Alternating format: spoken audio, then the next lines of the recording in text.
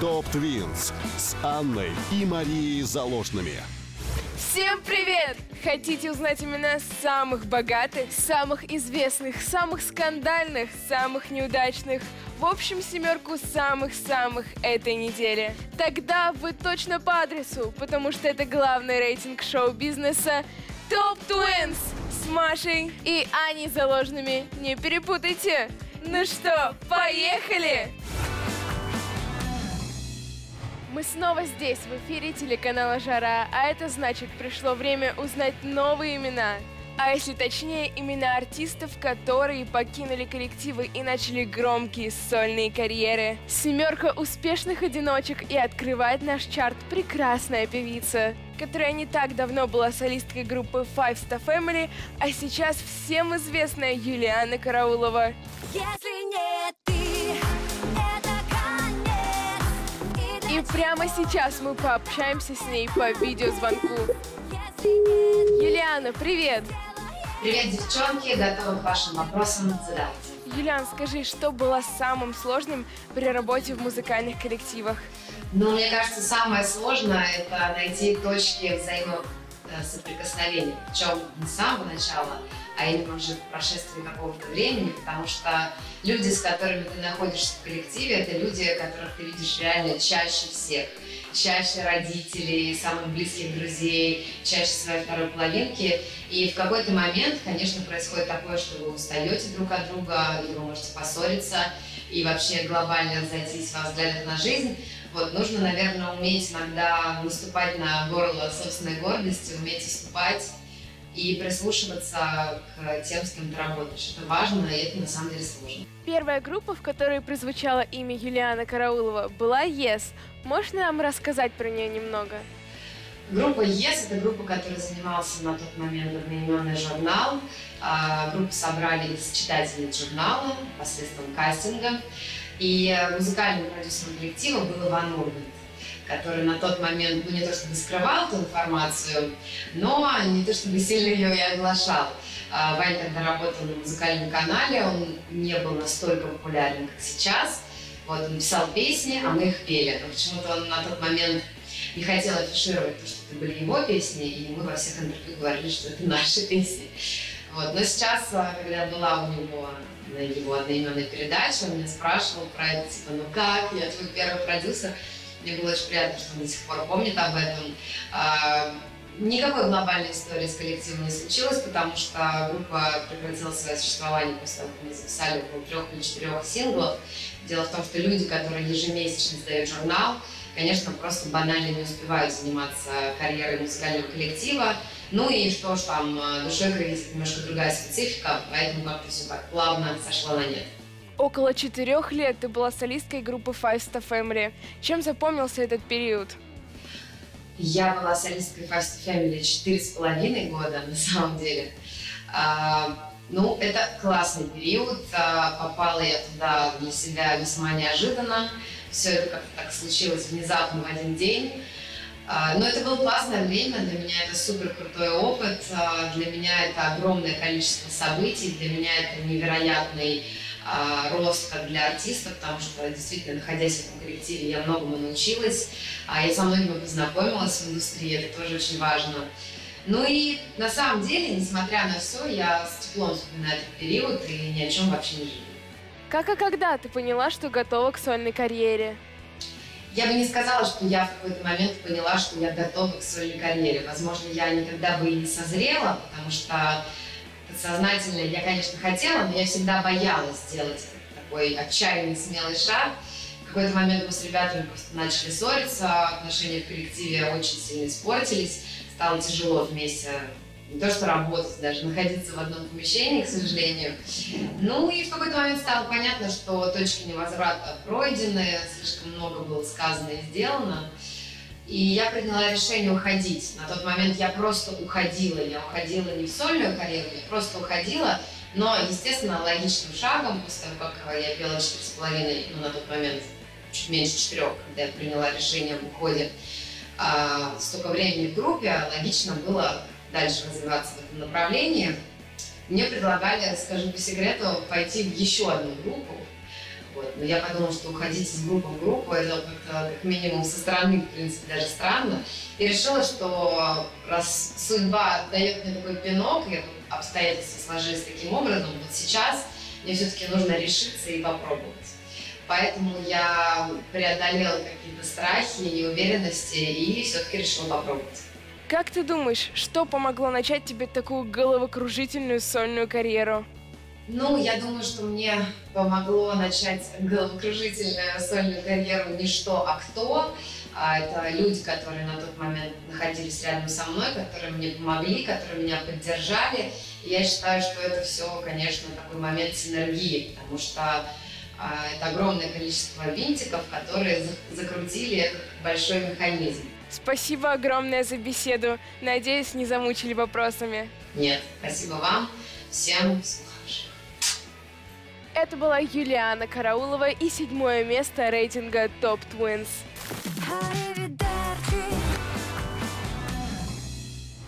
Сначала телепроект, потом участие в женской группе, а позже сольная карьера. Все эти этапы уже прошла наша следующая участница, которой всего-навсего 22 года. Яркая девушка кубинского происхождения рискнула покинуть популярнейший коллектив. И не прогадала. Теперь ее песни знают и любят по всему миру. Шестое место Камила Кабелла. Oh no, В 2018 году на музыкальной арене зажглась звезда мирового масштаба. Камила Кабелла выпускает суперхит «Хавана» и становится главным ньюсмейкером года. Девушка покоряет всех и продолжает это делать по сей день. Havana, О том, что музыка ее признание, Камила поняла в 13 лет, когда решила бросить школу и начать профессионально заниматься вокалом. Все свое свободное время Кабелла посвящала репетициям. Набравшись опыта, Камила решает принять участие в популярном шоу X Factor. Однако первый сезон она пропускает по воле случая. Кабелла серьезно заболевает за пару дней до начала кастинга, но не отчаивается и через год приходит на шоу. Правда, и тут девушке не везет. Ее выступление не транслировалось из-за нарушения закона об авторском праве.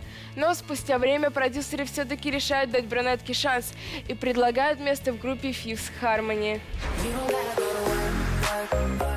Дебютный мини-альбом музыкального коллектива разошелся как горячие пирожки и попал в билборд ТОП-200, оказавшись на шестой строчке. Кроме того, в течение 2013 года Fifth Harmony побывали в каждом уголке Америки.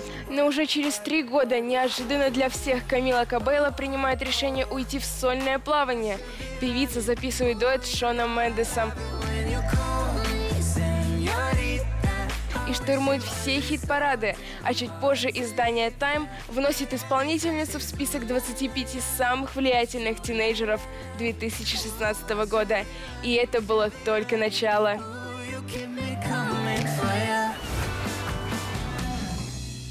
Идем дальше, и тут у нас эталон женственности, грации и красоты. Эта певица была одной из солисток золотого состава главной женской группы страны. И после ухода из коллектива многие ставили крест на творчестве этой исполнительницы. Многие, но только не она, потому что речь идет о великолепной Вере Брежневой. Я знаю Такое ощущение, что она знает пароли и ориентиры абсолютно ото всех дверей и секретов. Вера Брежнева – настоящая икона женственности российской эстрады. Мужчины не могут отвести глаз, а девушки берут с нее пример. А все началось с 2002 года, когда в родной город Брежневой пожаловала группа «Виагра» с концертом. В тот день на сцену пригласили всех желающих спеть вместе с девушками песню «Попытка номер пять». И Вера не осталась в стране.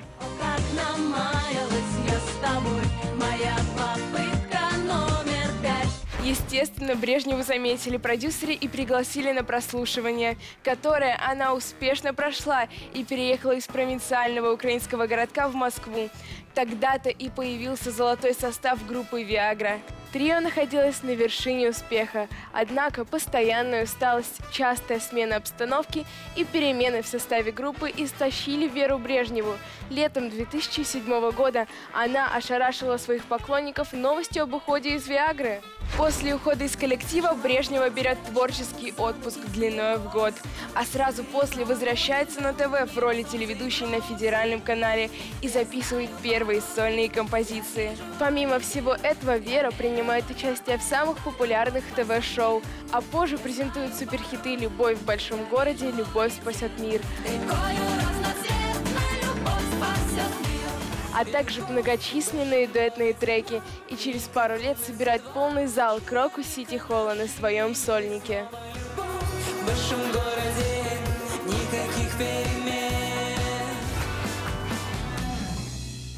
шаге от тройки призеров сегодня остановился любимец миллиона девушек. Этот артист давно зарекомендовал себя как один из лучших на российской эстраде. Многие, наверное, уже не помнят, но он начинал свою карьеру в группе. А если быть точнее, в дуэте с Владом Топаловым.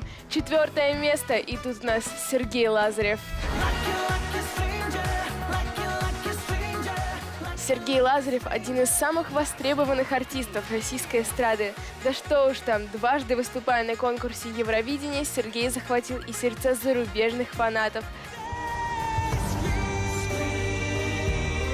Так что все новинки Лазарева с нетерпением ждут по всему миру. Мы уже привыкли, что Сергей сольный исполнитель, но ведь все начиналось с популярнейшей в нулевых группы Smash, которую Лазарев организовал вместе с лучшим другом Владом Топаловым. Сергей и Влад записали балладу на французском языке «Бель», которая впервые прозвучала в мюзикле «Нотр-Дам де Пари». Эта версия знаменитой песни стала такой популярной в России, что дуэт заключает первый профессиональный контракт с музыкальной студией звукозаписи. Весной 2002 года друзья участвуют в международном конкурсе «Новая волна» и становятся победителями. После этого успеха парни с головой погружаются в творчество и выпускают хит за хитом, штурмуя хит-парады по всему миру. В конце 2004 года группа Smash выпускает вторую и последнюю пластинку Tonight. Почти сразу после ее издания Сергей Лазарев неожиданно для поклонников объявляет об уходе из коллектива. Уже через год Сергей выпустил свой дебютный сольный альбом Don't Be Fake. И это был настоящий фурор. Поначалу артист делал акцент на англоязычные треки, но позже стал записывать песни на русском, и всенародный успех не заставил себя долго ждать.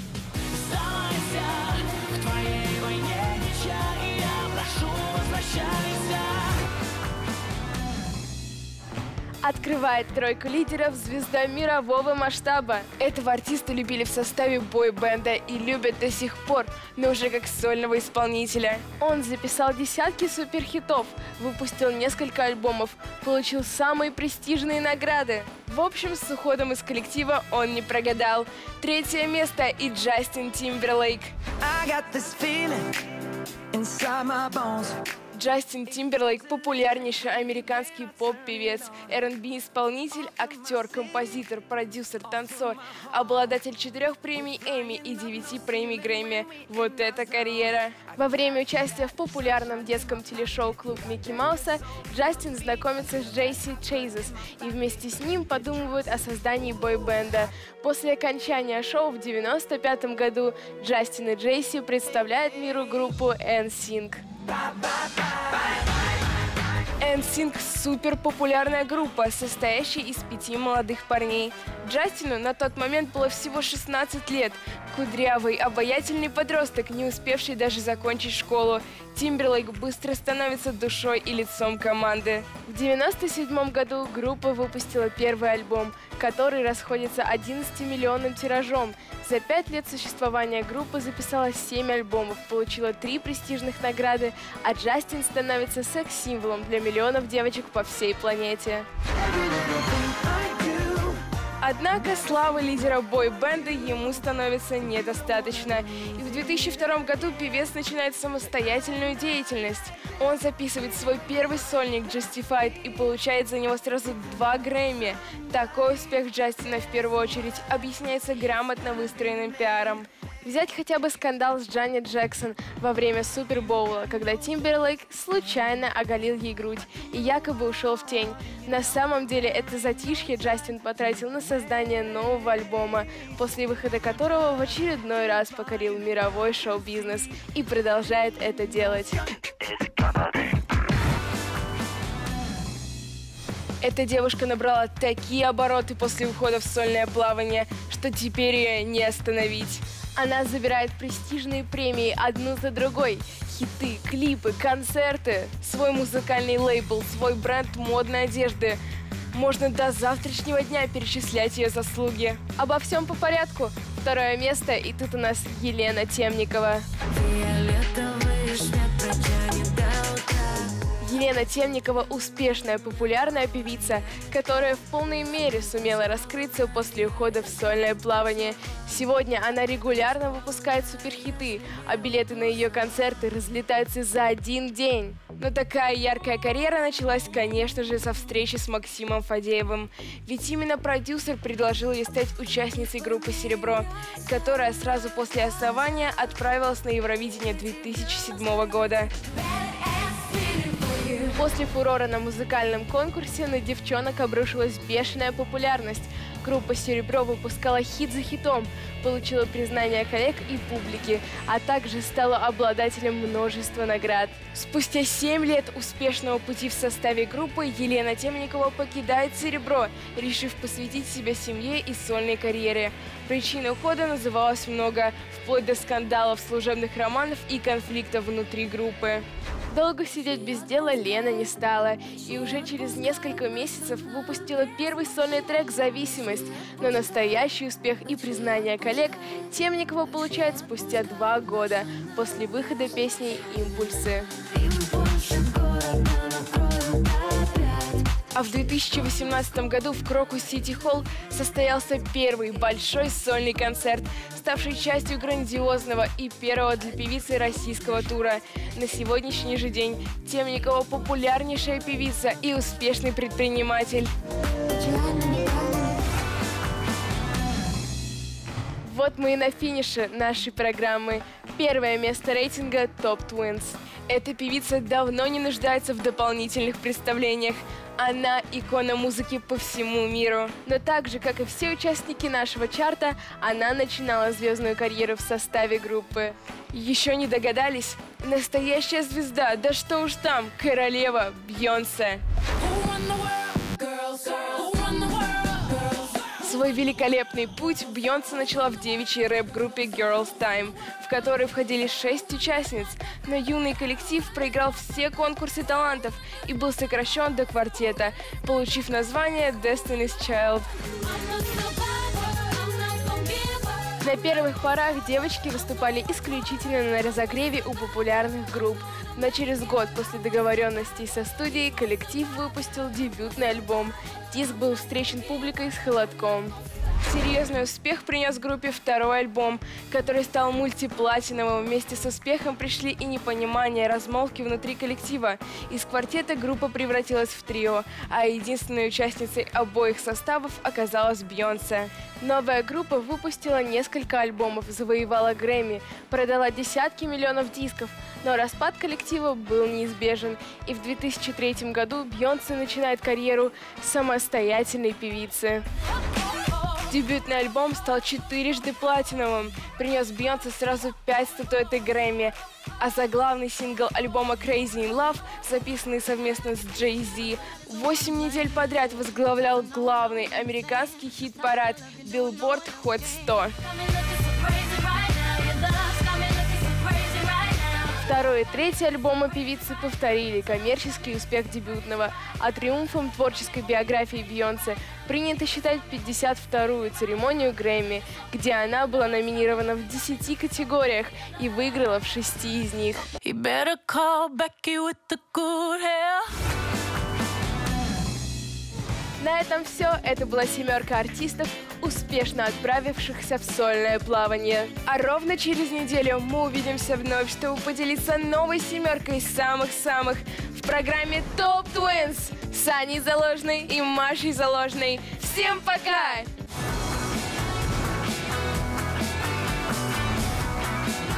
Топ Твинс с Анной и Марией Заложными.